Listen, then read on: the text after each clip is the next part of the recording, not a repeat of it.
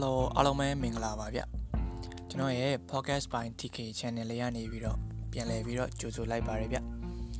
ဒီနေ့မှာတော့ကျွန်တော်ကဘာကြောင်းပြောသွားမလဲဆိုရင်ဘဝကိုပြောင်းလဲစေတဲ့စေကားကြီးများဆိုတဲ့ခေါင်းစဉ်လေးနဲ့ကျွန်တော်ပြောသွားခြင်းပါတယ်ပထမဆုံးအနေနဲ့ကျွန်တော်တို့စေကားကြီးတွေအကြောင်းပြောကြမယ်ပေါ့နော်ဒီဘက်ကမှာတော့စေကားကြီးတွေဆိုတာတိတ်ပြီးတော့ခက်မစားတော့ဘူးပေါ့နော်ကလေးတွေဆိုရင်လည်းအရသာရှိတဲ့အဲ့လိုပေါ့ စတော်ဘယ်ရီရတာတို့လိမ္မော်အရတာတို့အဲ့လိုမျိုးဆေးလေးတွေကိုလည်းတိုက်ကြတော့ပေါ့ကျွန်တော်တို့တော့မှတော်တော်မှငယ်တဲ့အချိန်တုန်းကပဲဒီဆေးကားကြီးတွေကိုတောက်ဖူးခဲ့ရပါတော့ဥပမာအထူးသဖြင့်ကတော့မြမာဆေးတွေပေါ့နော်အရင်တော့ကမြမာဆေးတွေဆိုဆေးကားကြီးတွေကွာဝင်းအဝင်းကအရန်ဆိုးတယ်အဲ့ဒီဆေးကားကြီးတွေတောက်မယ်ဆိုနှာခေါင်းတွေဘာတွေကိုပိတ်ပြီးတော့အတင်းပေါ့တိုက်ခဲ့တာမှတ်မိသေးရဲ့ငငယ်တော့ကအသက်9နှစ်အရွယ်လောက်ကထင်တယ်အဲ့လိုဆေးကားကြီးတွေကို တိုက်ခဲ့တာကွာဒါပေမဲ့အခုကကလေးတွေကတော့အဲ့ဒီဒုက္ခကတော့ကင်းသွားကြပြီလို့တော့ထင်ပါတယ်သူတို့ကျတော့အရသာရှိတဲ့ strawberry ဆေးလေးတွေတို့အာဆေးရည်လေးတွေပေါ့အဲ့ဒါလေးတောက်ရတာဆေးကားကြီးတွေနဲ့ပတ်သက်ပြီးတော့ဗာပြောချင်တာရှိလို့လဲဆိုလို့ရှိရင်ကျွန်တော်တို့တွေခန္ဓာကိုယ်ကျန်းမာရေးကောင်းဖို့အတွက်ဒီလိုမျိုးဆေးကားကြီးတွေကိုတောက်ခဲ့ရတယ်လို့မျိုးပဲဆေးကားကြီးတွေနဲ့တူတဲ့အဝင်ဆိုးတဲ့အခိုက်အတန့်တွေဘဝမှာကြုံခဲ့ဘူးမှာပဲ အဲ့ဒီအဝင်ဆိုးတဲ့အခိုက်အတန့်တွေကပဲကျွန်တော်တို့ပို့ပြီးတော့စိတ်ပိုင်းဆိုင်ရာအရာ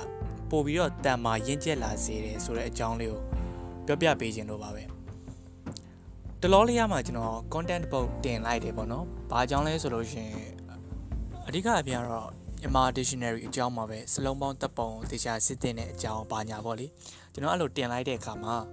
အကိုတယောက်ကကျွန်တော် post အောင်မှာလာမှန်သွားတယ်ပေါ့နော်။ဘာမှန်သွားလဲဆိုတော့ အဖြတ်တောင်းနဲ့ပတ်သက်ပြီးတော့ပေါ့နော်အာမားနေရလေးရှိလို့သူကမှန်သွားတာပေါ့အဲ့မှာကျွန်တော်ရုတ်တရက်တော့စိတ်ထဲမှာမကျေနပ်ဘူးဖြစ်သွားတာပေါ့နော်အာဘယ်သူမဆိုကိုယ့်ရဲ့ content ကိုကောင်းကြောင်းထောက်ခံကြောင်းမှန်တာပဲလိုချင်ကြမှာပေါ့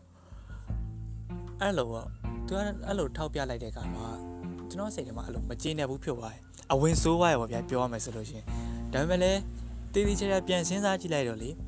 သူသာမမှန်းခဲ့ဘူးဆိုရင်ကျွန်တော်လိုနေတာကိုသိမှာမဟုတ်ဘူးဗျဒီအပြတ်တောင်းနဲ့ပတ်သက်ပြီးတော့ဂယူဆိုင်ရမယ်လို့လဲကိုယ့်ကိုပြန်ပြီးမြင်မိမှာမဟုတ်ဘူးသူကျေးဇူးကြောင့်သာကျွန်တော်အာနောက်ပိုင်းမှာအပြတ်တောင်းနဲ့ပတ်သက်ပြီးတော့ပို့ပြီးတော့တတိထားမိတာရပေါ့နော်ကိုယ်စာရေးတဲ့အခါတည်းမဟုတ်ဘဲနဲ့သူများစာတွေလိုက်ဖက်တဲ့အခါမှာလေသူတော့ဘယ်လိုလေးဖြတ်သွားတယ်ဘယ်လိုလေးအပြတ်တောက်လောက်သွားတယ်ဆိုတော့ကျွန်တော်လိုက်ပြီးတော့တတိထားမိသွားတယ်ဒါကရိုးရိုးစာတွေရေးတဲ့ခါမှာတော့ အရေးမကြီးဘူးမယ်ဥမာ content ရေးတာတို့အာ copywriting ရေးရတော့အထူးသဖြင့်ပေါ့ရုံးစာတွေဘာတွေမှာရေးတဲ့အခါမှာအဖြတ်တောက်တွေမားနေတိတ်ပြီးတော့အဆင်မပြေဘူးပေါ့နော်တော်တော်များများလည်းအဲ့လိုမျိုးမားတာတွေ့ရင်ဝေဖန်ကြရတယ်ပေါ့အားရလည်းတွေ့ရတယ်မြင်ရတာလည်းအဆင်မပြေဘူးပေါ့အပြောချင်တာတော့အဲ့လိုပေါ့သူသာအဲ့လိုမျိုးမမှန်းခဲ့ဘူးဆိုရင်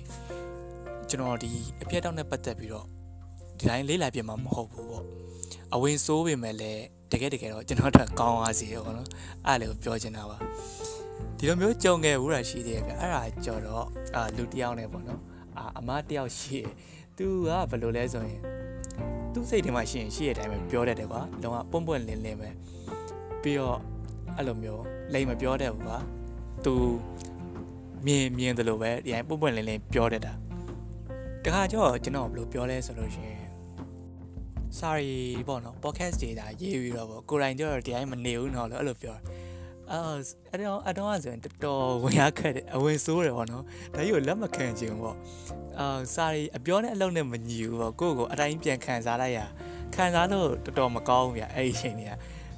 အဲဒါပေမဲ့လည်းနောက်ပိုင်းကျတော့သူပြောရလေဟုတ်မဟုတ်ကိုယ့်ကိုပြန်စဉ်းစားကြည့်လေအဲဟုတ်တာပဲငါ sorry ဒါသူများတွေကိုဘယ်လိုလုပ်ဒီလိုလုပ်ဆိုပြီးတော့ဆရာကြီးလုံနေရပေါ့ကိုယ့်ကိုကျတော့ ကိုပြောသလိုမနေနိုင်သေးပါလားဆိုပြီးတော့ကိုယ့်ကိုပြန်ပြီးတော့တတိထားမိသွားပေါ့အဲ့နောက်ပိုင်းကျွန်တော်ကိုပြောတဲ့အာစကားနဲ့ကိုလုပ်တဲ့အလုံးနဲ့ညီအောင်အတက်နိုင်ဆုံးပေါ့စူးစမ်းပြစ်လာတာပါပဲပြောချင်တာအဲ့လိုမျိုးအဝင်ဆိုးတဲ့အခိုက်အတန့်နေရပဲကျွန်တော်တို့ပို့ပြီးတော့ကောင်းတဲ့လူတစ်ယောက်ဖြစ်ပြောင်းလဲစေတာပေါ့နောက်ထပ်လူတိုင်းကြုံတွေ့ရမယ်ဥပမာတော့တခုခုပင်ပင်ပန်းပန်းစူးစမ်းပြီးမှကွာရလာတဲ့စုလက်ကမတူဘူး အဲ့လိုပင်ပန်းပန်းစူးစမ်းပြီးတော့စူးစမ်းနေတဲ့အချိန်မှာတော့စိတ်ညစ်တာပေါ့ဘာလို့မဆိုအာပင်ပန်းပန်းပန်းခက်ခက်ခဲခဲကြီးတော့မစူးစမ်းကြင်ကြဘူးကွာအလွယ်လေးရကြင်ကြတယ်ဒါပေမဲ့လည်းတကယ်တကယ်ကိုလိုချင်တယ်လို့ဖြစ်လာတဲ့အခါမှာကိုစုရတဲ့အခါမှာပေါ့ကိုစူးစမ်းလိုက်တဲ့ဟာအဲ့ဒီအချိန်တွေကတကယ်ကိုကိုပြောင်းလဲစေခဲ့တဲ့အခိုက်အတန့်တွေဖြစ်နေတာပေါ့အဲ့ဒါကြောင့်ပေါ့နော်အပေါ်ယံလေးဒီခဏလောက်လေးပျော်ဖို့အတွက်အပေါ်ယံပြားရည် တုတ်ထားတဲ့အတွေ့အကြုံလေးတွေတဲ့ပေါ့တကယ်အဝေးရဆိုတဲ့ဈေးကားကြီးတွေကမှကိုယ့်ရဲ့ဘဝကိုတကယ်ပြောင်းလဲစေပါလားကိုပို့ပြီးတော့ကောင်းတဲ့လူဖြစ်အောင်ပြောင်းလဲစေပါလားဆိုတဲ့ဟာကိုကျွန်တော်တတိထားမိလို့အဲ့ဒါလေးပြောလိုက်တာပါငငယ်တော့ကတော့ဆီယမတွေပြောခဲ့ရတယ်မှတ်မိသေးရဲ့ဗျအာဒီချိန်မှာပေါ့နော်ပျော်ပျော်ပပနဲ့နေမယ်ဆိုလို့ရှိရင်စာမွဲကြရင်ဒုက္ခရောက်လိမ့်မယ်ပေါ့အားကြောင့်ဒီချိန်ကလေးကအနာခံထားမှအသာဆန်ရမယ်ဆိုတဲ့ပုံစံမျိုးပါပဲ အတိတ်ပဲကတော့ဘာဖြစ်ဖြစ်ပါနောက်တစ်ခါအဲ့လိုမျိုးအဝင်ရဆိုတဲ့စီကားကြီးတွေကြုံလာခဲ့လို့ရှိရင်အပထမဆုံးကျွန်တော်တို့တော့ဘယ်သူမှတော့ပျော်နေမှာတော့မဟုတ်ဘူးညာစိတ်ညစ်လည်းညစ်မယ်ရင်ထဲတစ်မျိုးကြီးဖြစ်ရင်လည်းဖြစ်သွားမယ်ပြို့ရင်လည်းပြို့မယ်အန်ဂျင်လည်းအန်ဂျင်ပဲတကယ်တော့အဲ့ဒါဝင်ရဆိုးရဲဆိုတော့တကယ်ဝင်ရဆိုးတာအဲ့လိုမျိုးကို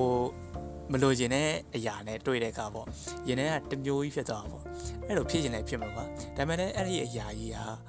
ကိုယ်ပို့ပြီးတော့ကောင်းတဲ့လူပို့ပြီးတော့ဒီတဲ့တဆင့်မြင့်တဲ့လူတယောက်ဖြစ်ဖို့အတွက်တကယ်အကူအညီပေးမဲ့အရာပါလားဆိုပြီးတော့ကိုယ်စိတ်ထဲကနေတကယ်လက်ခံပြီးတော့ဗောနော်စေးကားကြီးတွေကိုကြိတ်မိတ်တောက်ကြရအောင်လို့ပြောကြရင်လည်းဒီ podcast လေးကိုအဆုံးသတ်လိုက်ရှင်ပါတယ်ဗျအားလုံးပဲနောက် podcast တစ်ခုမှာပြန်ဆုံတွေ့ကြပါမယ်ဒီ podcast လေးကိုကြိုက်နေတဲ့ဆိုလို့ရှိရင် like and subscribe လေးလုပ်သွားပေးဖို့တောင်းဆိုချင်ပါတယ်ဗျတကယ်ချင်းနေနဲ့အတူမျှဝေပေးသွားလို့ရှိရင်လည်းကျွန်တော်ဘက်ကကျေးဇူးအများကြီးတင်ပါတယ်လို့ပြောကြရင်းနဲ့ဆုံးသက်လိုက်ပါတယ်အားလုံးပဲကျေးဇူးအများကြီးတင်ပါတယ်ဗျ